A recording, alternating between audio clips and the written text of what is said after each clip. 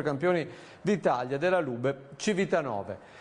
Per il volley femminile invece è tempo di campionato questa sera per la Liugio impegnata al Palapanini nel turno infrasettimanale contro Legnano.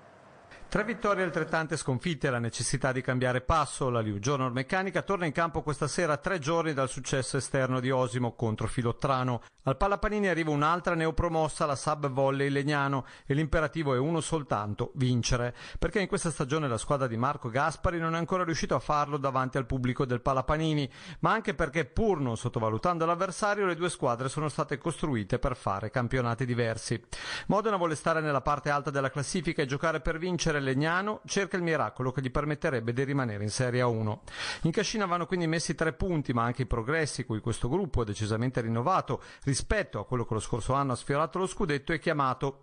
Il tempo per crescere c'è, ma nel frattempo la Journal Meccanica non può permettersi, come invece è accaduto proprio nella passata stagione, di perdere contatto con le prime della classe.